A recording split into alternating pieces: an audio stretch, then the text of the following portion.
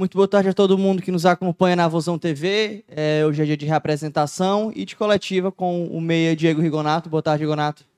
Boa tarde. A gente vai começar as perguntas pelo repórter Horácio Neto, da Rádio Povo CBN, do Jornal Povo. Tudo bom, Diego? Sou Horácio Neto, Jornal Povo da Rádio Povo CBN. Prazer estar falando com você novamente.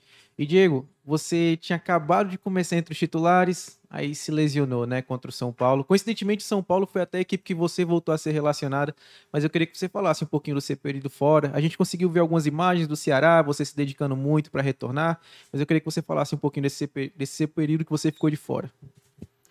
Boa tarde. É, sim, foi contra o São Paulo numa partida da Sul-Americana que com certeza vai ficar gravado na minha memória. Mas bom, é machucar é muito difícil, é ainda mais para um esporte de alto nível, onde a gente precisa e necessita do nosso corpo, realmente nos complica muito. Mas graças a Deus tive a felicidade já de estar de volta. Claro que foi um período muito difícil, um período de muito trabalho. É, gostaria de agradecer a todos os médicos, os staffs que, que me ajudaram aqui também, as pessoas tem que ter uma paciência, né? Porque não é, não é fácil também vir com a cabeça e uma motivação todo dia para o mesmo requisito. Mas graças a Deus já estamos de volta aí e podendo entregar o nosso trabalho ao, ao Clube do Ceará. Diego, boa tarde. Eu sou Danilo Queiroz, do Futebolês, que é o perfil de esportes do Sistema Jangadeiro. Diego, você falou, é, é, o Horácio fez metade da pergunta que eu já ia fazer, né? Como é esse período fora foi. Mas a outra metade, eu fico mais feliz de fazê-la, que é a metade positiva. Como é que foi poder retornar, passar a última semana já trabalhando e poder entrar, né? Que você já entrou no, no, confronto diante da equipe do São Paulo. Como é que foi poder voltar depois desse período, que é um período tão ruim? É, nós, é, repórteres, nós não nos contundimos, mas ficamos doentes, né? Temos que ficar distante do trabalho. É negativo. Eu imagino que para você também seja e qual é uh, o ponto positivo disso tudo ao retornar? Boa tarde. Com certeza, a gente, quando está enfermo, a gente é, se sente é, inútil. Que a nossa profissão é muito difícil. Claro que todos a gente podemos ficar doente, como você acabou de dizer, mas na nossa profissão a gente necessita mostrar, a gente necessita estar tá presente, necessita muitas coisas ao redor disso. Mas é, eu creio que essa fase passou, graças a Deus, a gente vem trabalhando muito firme, muito duro, que nem tinha comentado agora um pouquinho antes. Precisa, necessita muito de uma cabeça muito boa, né, de estar bem motivado, e é isso que a gente trabalha. A gente trabalha para o que vem, porque o futebol é assim, e graças a Deus estou muito, muito feliz de poder estar voltando ao grupo, é, passando essa confiança que o grupo está passando para mim sempre e com certeza muito feliz pela oportunidade de ter entrado contra o jogo do São Paulo, apesar do resultado, mas isso foi um grande resultado para mim também. Igonato, Lucas Catribe, Globo Esporte, boa tarde. Seja bem-vindo novamente, né? Digamos assim. É legal voltar a falar contigo. No jogo, você acabou entrando numa função mais pelo lado esquerdo, espécie de ala, lateral esquerdo, algo que você já fez na carreira, como você disse aqui na apresentação. Foi trabalhado durante a semana? Você acredita que pode brigar por um espaço naquela posição? Mais uma circunstância do jogo? O que é que você pensa em relação àquela posição específica que você fez no jogo contra o São Paulo? Olha, boa tarde. Com certeza, é, desde o início da minha vinda aqui ao Clube do Ceará, eu coloquei total disposição para o clube aonde tiver que atuar, se eu estiver presente, tiver oportunidade de atuar, eu vou estar atuando, independentemente de posição. Se o professor Lúcio, Lúcio me, me colocou ali é porque eu tinha as qualidades que ele necessitava e com certeza estou de total disposição para poder servir, esse, é, servir a, a, a, equipe da melhor maneira possível. É, posso jogar ali, posso jogar em, em, em, outras posições também, graças a Deus tenho essa, essa facilidade, mas é com muito trabalho. Eu creio que o trabalho ele, ele supera tudo, a gente está ali para trabalhar, são todos profissionais, é, é uma briga saudável e eu, eu creio que, na minha cabeça, eu quero que o Clube do Ceará seja, seja vitorioso, então é esse o objetivo. O objetivo é estar ali, tendo oportunidade, mas com certeza é essa responsabilidade de poder efetuar em, em qualquer outra posição é, é muito legal, é, é, é, muito sano. Então, vou estar ali a trabalho, vou estar preparado para quando precisar e, e é assim que, que funciona. Diego, Samuel Conrado, do Sistema Verdes Mares, mais uma vez também é uma satisfação em falar com você. E eu queria saber de você, você chegou com o Marquinhos Santos aqui e agora está com o Lúcio Gonzalez, né? Qual foi a principal mudança que você enxergou nos treinos da equipe do Ceará? E também essa oportunidade, né? Logo no terceiro jogo dele, você iniciando a partida também, você voltando a, jogar com a camisa do Ceará. São dois professores de excelente qualidade. É... Cheguei aqui com o Marquinhos e agora com o Lúcio, mas creio que são ambos muitos profissionais, têm um trabalho muito sério e muito feliz de poder estar ali no elenco, muito feliz de ter essa oportunidade de estar ali com jogadores de, de alta qualidade, trabalhadores. Então, muito contente, realmente muito contente. Agora tenho que, que trabalhar firme para manter esse nível e, e ser constante. O futebol necessita ser constante. E outra pergunta que eu queria saber de você, até mesmo um complemento da pergunta do Catribe, é a respeito do, do seu posicionamento dentro de campo. O Lúcio Gonzalez já conversou com você? Como é que ele cria a sua disposição tática dentro de campo na equipe do Ceará? Olha, a gente já vem treinando alguns dias da semana passada, né? Então eu creio que com a inteligência suficiente que o Lúcio tem, ele já sabe aonde eu jogo, ele já sabe aonde eu posso render mais para a equipe. Né? No jogo contra o São Paulo, teve essa possibilidade de estar ali. Creio que foi a, a melhor maneira possível que ele encontrou de ter uma solução para o para o time, é, independentemente da circunstância que houve ali naquele cenário, é, a gente entrou para fazer o nosso trabalho, mas muito tranquilo, muito confiante. Eu creio que eles têm as, as ferramentas necessárias para nos oferecer e a gente tem que estar tá ali para servir, com certeza. Igonato, vocês tiveram dois dias de folga, né? Dois dias de descanso. E a gente já viu alguns torcedores, né? O pessoal que meio leigo nessa questão, reclamando de vez em quando, ah, o time perdeu, não é para ter folga e tal. Só que a gente sabe que a batida do ano foi muito pesada, tem 11 decisões pela frente, tudo isso e agora é uma semana para trabalhar pensando nesse jogo contra o Curitiba. O que, que você procurou fazer é, nesse período? Descansar mesmo é importante também, porque o descanso faz parte do treinamento, do trabalho, né? Tudo isso, né? Com certeza. É, o, o, futebol ele é meio complicado nessa parte, sabe? Tem pessoas que não entendem, tem pessoas que entendem, então eu deixo essa resposta um pouco em aberto, porque seria muito crítico da minha parte eu falar alguma coisa, porque eu não estava jogando o tanto de jogos que, que os jogadores venham fazendo nesse ano, que é muito completo, é muito difícil, realmente a logística é difícil em questões de viagem também, então eu sinto cansaço, assim como os outros jogadores. É, prezo muito o descanso do jogador, porque descansar o corpo é uma coisa, descansar a mente é outra. É, não estou aqui para julgar ninguém, a decisão de cada pessoa basta ser crítico, né? Então, é, com certeza, algumas pessoas vão achar que é errado, outras vão achar que é certo, enfim. É, eu estou aqui para prezar a melhor maneira possível de uma pessoa estar feliz, da pessoa poder fazer o trabalho dela feliz, independentemente do que seja o trabalho, se ela precisa descansar mais que as outras pessoas, se ela não precisa descansar. Para mim, o importante é a pessoa estar tá feliz, estar tá trabalhando de acordo com, com o que merece. Agora, sim, eu, eu pretendo me mover todos os dias, é, eu não venho tendo uma carga iguais a dos outros jogadores, né? Então, sim, nos meus dias de folga eu, eu sempre faço algo. Mas é, isso é critério. Eu acho que é muito importante a recuperação mental de um, de um jogador e eu acho que o jogador merece também um descanso, assim como todas as outras pessoas que trabalham muito. Igonato, quatro jogadores estão suspensos, né? São jogadores que o, o Lúcio não vai poder contar, né? O Nino Paraíba, lateral direito, dois zagueiros, o, o titular Luiz Lacerda e também o Zé Roberto, que foi expulso, né? São quatro deles dois titulares. Como é que você avalia esse probleminha que o Lúcio vai ter? E uma segunda pergunta, é, às vezes sai um jogador e aí encaixa, poxa, eu posso jogar ali, né? Nessas posições aqui não, não, não, não abre muito espaço para você, né?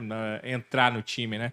A sua disputa é uma, é uma, é uma outra. Como é que você vê a possibilidade de você, em breve, estar disputando novamente uma vaga de titular? É uma segunda pergunta, e eu lembro da tua partida contra o São Paulo lá. Ali você tinha virado titular da equipe. Infelizmente, a contusão te tirou isso, né? Então, por favor, essa situação dos jogadores fora, como é que você vê no elenco? E a questão de você, daqui a pouco, voltar a ser pensado como jogador titular.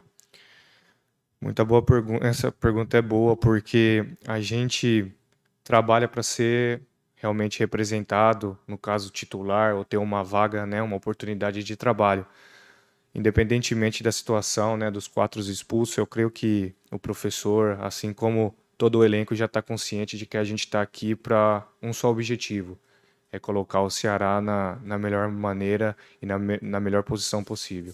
Então eu creio que isso já está sendo analisado, é, não cabe a mim fazer nenhum tipo de, de comentário é, quem seria, quem não seria, é, se é da minha posição, se não é da minha posição. Como eu falei, eu estou aqui de total total confiança em, em, em, meu trabalho e espero que quando, quando surgir a oportunidade eu vou estar preparado, independentemente aonde seja.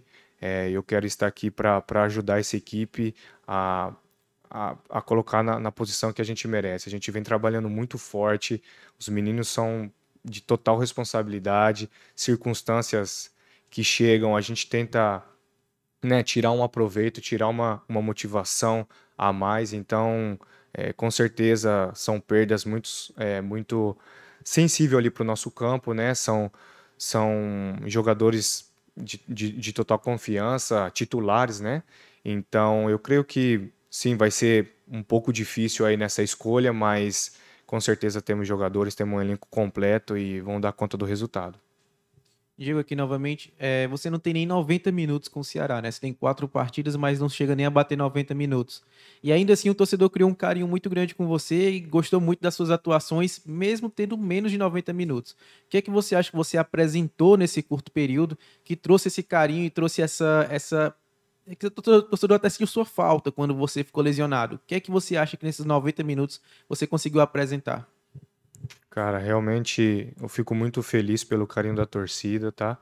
É uma coisa que me, me dá muita força, inclusive na, na minha recuperação. Eu tentei focar total, praticamente o dia inteiro eu ficava cuidando do meu corpo e as pessoas sempre me motivando, é, me encontravam na rua e me, me davam umas palavras de motivação boa.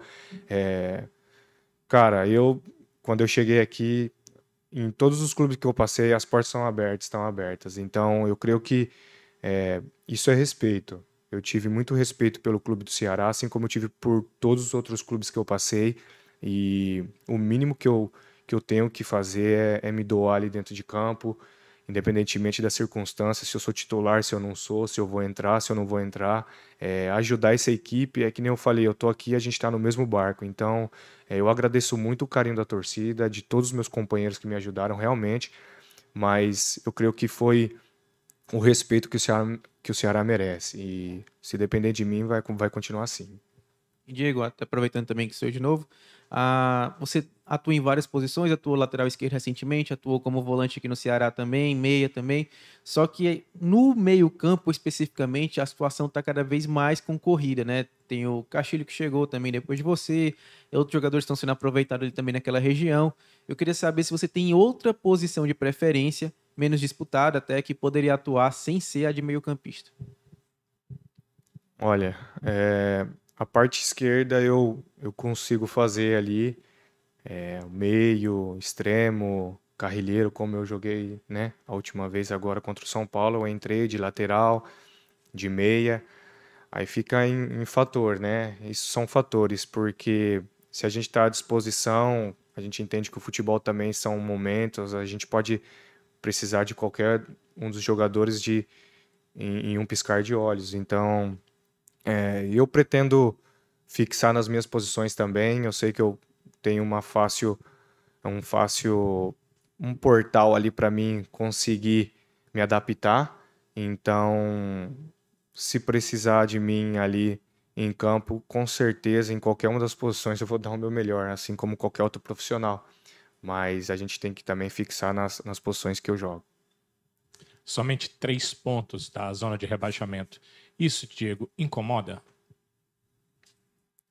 Claro que incomoda. A gente é competidor e as pessoas que querem esse tipo de esportes querem estar no alto. É, ainda mais com esse grande clube do Ceará que, que vem fazendo um trabalho, que fez um trabalho representante para toda a nação. É claro que a gente se incomoda, a gente fica ruim, né? Fica, fica incomodado em questão dessa parte aí. Mas eu confio muito no trabalho, os meninos confiam muito no trabalho também. É, a gente tem um objetivo e a gente vai alcançar esse objetivo. Deus nos, no, nos abençoou já de ter essa garra que a gente tem uma garra extra e a gente tem que, tem que focar, a gente tem que focar para tirar o Ceará daquela, dessa posição, porque realmente a gente merece algo melhor ali. Gonato, é, os próximos três jogos né, contra adversários que a gente di, diria assim, né? É, até algumas pessoas falarem, ah, acessíveis, adversários acessíveis, ou adversários que estão na mesma prateleira que o Ceará, né? É, de qualidade técnica, de investimento e tal. E o primeiro adversário vai ser o Curitiba. É um jogo fora de casa. A gente sabe que é muito complicado jogar lá em Curitiba. É, queria saber de você o quanto é importante vencer um jogo como esse, porque o Curitiba conseguiu se recuperar na competição, apesar de perder na última rodada. Depois que o Guto Ferreira assumiu lá, o time conseguiu voltar a vencer, inclusive está fora da zona de abaixamento. E se conseguir uma vitória de repente em cima do Ceará, ultrapassa o próprio Ceará. O quanto esse jogo é muito é importante para vocês na caminhada na reta final do Brasileiro? Certo. É, com certeza é um jogo muito importante, assim como todos os outros, né? Mas vamos falar especialmente desse jogo. Jogar fora de casa, né? Depois de uma derrota, um confronto direto também. Muito importante para o clube do Ceará. E realmente a gente sabe também da qualidade do, do, da equipe do Curitiba, jogadores profissionais de excelente qualidade, um time bem montado, bem estruturado. Então, é, a gente sabe da importância, a gente tem que pôr em, em, em prática o nosso trabalho e tentar desenvolver um, um, bom resultado fora de campo, que seria fora de casa, perdão, que seria positivo para o nosso elenco, para o nosso clube, para a motivação também da próxima do próxima partida que seria em casa. Então, de total importância, a gente vai vai efetuar um trabalho extremamente difícil para tentar chegar ali de, de, uma forma que consegue ganhar um, um, ponto ou os três pontos fora de casa. Rigonato, antes do jogo de ida da Copa Sul-Americana, lá contra São Paulo, no Morumbi, na coletiva você disse que tinha que ter toda aquela cautela para não iniciar jogando e ter o risco de lesão, né? Você falou isso na sua coletiva. E aí você acaba entrando como titular e no seu primeiro lance você acaba se lesionando, né? Eu queria saber de você agora. Se o treinador Lúcio Gonzalez precisasse de você para os 90, 90 minutos iniciais, os 45 minutos, né? O primeiro tempo, você estaria pronto? E como é que está a sua situação fisicamente? Essa foi a mesma pergunta que quando, de quando eu cheguei, né? É, infelizmente não foi como a gente queria, né? De estar tá atuando. São coisas que que acontece, mas eu estou bem tranquilo e venho trabalhando muito forte para estar preparado. Isso é critério do, do Lúcio, creio que ele já sabe de tudo que vai fazer, muito inteligente, muito tático, nos dá muita motivação, então estou preparado, estou preparado para fazer o, o meu trabalho ali dentro de campo. Muito obrigado, Rigonato. Muito obrigado a todo mundo que nos acompanhou e aos membros da imprensa que estiveram conosco aqui no clube. Boa tarde, bom treino. Muito obrigado, gente.